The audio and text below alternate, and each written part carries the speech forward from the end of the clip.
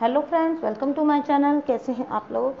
दोस्तों, आज का जो मेरा वीडियो है, वो बहुत इम्पोर्टेंट है तो प्लीज़ ध्यान से सुनिएगा।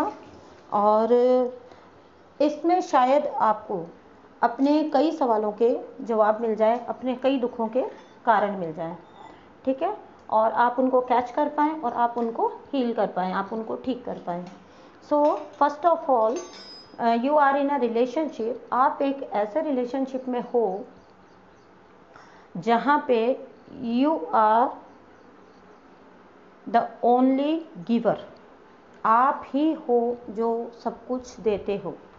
प्यार लव रिस्पेक्ट ठीक है dedication commitment the day you started this relationship you are wholly committed to that person ठीक है, आपने उस पर्सन को अपने आप को फुल्ली कमिटेड कर दिया है। बट कमिटमेंट आपको नहीं मिला है किसी भी टाइप का। ठीक है? That person is not caring about your feelings about your love about respect he is getting from you अगर उनको उस चीज़ का कोई कद्र नहीं है। एंड आप उनके साथ सिर्फ़ इसलिए जुड़े हुए हैं बिकॉज़ कहाँ, कहीं पर आपको ये रियलाइजेशन हो चुका है कि ये एक डिवाइन कनेक्शन है आप लोगों का या फिर पास्ट लाइफ कनेक्शन है आप लोगों का। बट आपको उस पर्सन का थ्री फॉर्म को भी देखना होगा कि वो यहाँ पर आपके साथ किस टाइप से बिहेव कर रहे हैं। उसमें आप अनअवेकन वाला एक्सक्यूज़ नहीं दे सकते हो। सो so, ये बात मैंने बीच में इसलिए बोली क्योंकि अधिकतर इसलिए सहन कर रहे होते हैं बिकॉज़ दे आर उनको ये लग रहा होता है कि कोई नहीं चलो ये बंदा अभी जो है अनअवेकन है इनको अभी इस चीज़ का रियलाइजेशन नहीं है। ठीक है, उन्हें उस चीज़ का रियलाइजेशन नहीं है about the divinity of this connection उनको ये रियलाइज़ नहीं है बट उनको ये तो रियलाइज़ है कि as a human someone is respecting them someone is giving their whole सब कुछ दे रहा है कोई उनको अपना और कोई है जो उनसे इतना प्यार करता है, कोई है जो उनकी इतनी केयर करता है, उनकी इतनी परवाह करता है, उनको इतना पैम्पर करता है, ठीक है? बट क्योंकि वो वापस रिटर्न कुछ नहीं देना चाहते आपको। तो यहाँ पे हमको खुद अपने लिए ये स्टेप लेना चाहिए कि हम एक्सक्यूज़ देना, खुद को ये बंद करें कि एक दिन इन्हें ये समझ आएगा, एक दिन इनको ये रियलाइज़ होगा। ठीक है, अगर आप इस होप में हैं कि एक दिन उनको ये रियलाइज़ होगा, एक दिन आपको, उनको ये पता लगेगा तो प्लीज़ प्लीज़ प्लीज़ खुद को वैल्यू करें and walk away from this type of a relationship if this person is meant to be with you अगर ये आपके लिए है पर्सन तो ये खुद चल के आपके पास आएँगे, उन्हें वो रियलाइज़ होगा। अगर वो आपको मिस नहीं करते, अगर वो आपको मिस नहीं करते, वो आपके लव को वैल्यू नहीं करते, वो आपकी एग्जिस्टेंस को वैल्यू नहीं करते, आप आ रहे हो या जा रहे हो, उन्हें कोई फ़र्क नहीं पड़ रहा। ठीक है? अगर वो आपके एग्जिस्टेंस को भी वैल्यू नहीं करते देन आप देन वो पर्सन आपको डिजर्व नहीं करता है. No doubt he is your divine partner even मैं कहूँगी कि अगर वो आपका डिवाइन पार्टनर भी है, तब भी वो आपको डिजर्व नहीं करता है. ठीक है? You should take a step back अपने आप को पीछे ले लीजिए. वहाँ से अपना हाथ खींच लीजिए. अपना आपको देना बंद करिए. अपने आप को उस पर्सन के ऊपर थोपना बंद कर दीजिए। क्योंकि कड़वा है मगर सच है, वो पर्सन आपको इसी तरह ले रहा है। जैसे आप अपने आप को उनके ऊपर थोपे जा रहे हो। If he is not ready to receive your love your respect your time आप अपना वक्त उनको दे रहे हैं लेकिन उन्हें उस चीज़ का कोई वैल्यू नहीं है। एंड आपको पता है लाइफ में सबसे ज़्यादा कीमती चीज़ जो है, वो आपका टाइम है। ठीक है? राइट टाइम आने पे लव आपको अपने आप मिलेगा। ट्रू लव आपको अपने आप मिलेगा। ठीक है? लेकिन जो टाइम आप उस लव को खोजने में, उस लव को पाने में, उस लव के लिए क्रेव करने में निकाल दे जा रहे हो, वो टाइम कभी आपका वापस नहीं आने वाला है। सो so, आज का मेरा टॉपिक यही है। प्लीज़ किसी भी रिलेशनशिप में no doubt he is your divine partner he is your karmic he is your lover he is your soulmate लेकिन खुद को वैल्यू करना सबसे पहले ज़रूरी है। खुद को वैल्यू करें। प्यार मिलता है तो प्यार दें केयर मिलती है तो केयर दें टाइम मिलता है तो टाइम दें। लव मिलता है रिस्पेक्ट मिलता है तभी लव एंड रिस्पेक्ट दें। अगर वहाँ पर आपको वापस कुछ नहीं मिल रहा है इट मीन्स कि वहाँ उस पर्सन को आपके प्यार लव केयर रिस्पेक्ट टाइम की कोई ज़रूरत नहीं है। आप उन्हें वो अटेंशन ज़बरदस्ती का दे रहे हो। वो अटेंशन आप उसको, उनको ज़बरदस्ती का दे रहे हो और सबसे ज़्यादा कंफ्यूजिंग स्टेट तब हो जाती है जब आप किसी तरह के डिवाइन कनेक्शन में होते हो।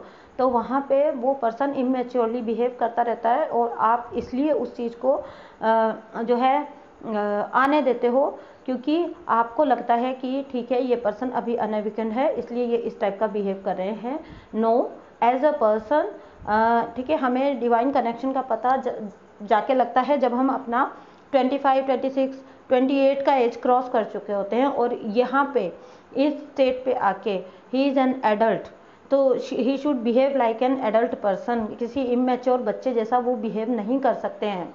ठीक है मान लीजिए वो अनवेकन है but at the same time he is a human being है ना? और सामने वाले को भी उन्हें इंसान समझना होगा।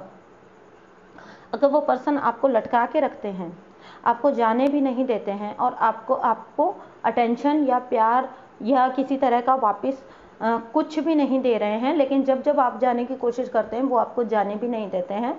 देन आपको देन तो आपको बिल्कुल समझ आ जानी चाहिए अपनी वाली कंडीशन कि आप उनकी लाइफ में क्या हो। आप उनकी लाइफ में केवल उनको एनर्जी प्रोवाइड करा रहे हो, अपनी जो उन्हें चाहिए कांस्टेंट चाहिए चाहिए ही चाहिए। ठीक है? आप उनको ओवर अवेलेबल हो रहे हो। And this is not a good sign अच्छी बात नहीं है। किसी को अगर आपकी ज़रूरत नहीं है तो आप उसे अवेलेबल रहो। सो so, इसके लिए आप क्या कर सकते हो? ये ऐसा कब होता है? ऐसा तब होता है जब आप सब कुछ भूल के सब कुछ आ, पीछे रख के आप एक पर्सन को उस पेडेस्टल पे बिठा देते हो। एंड बिन मांगे उनको अपनी तरफ़ से कमिट हो जाते हैं।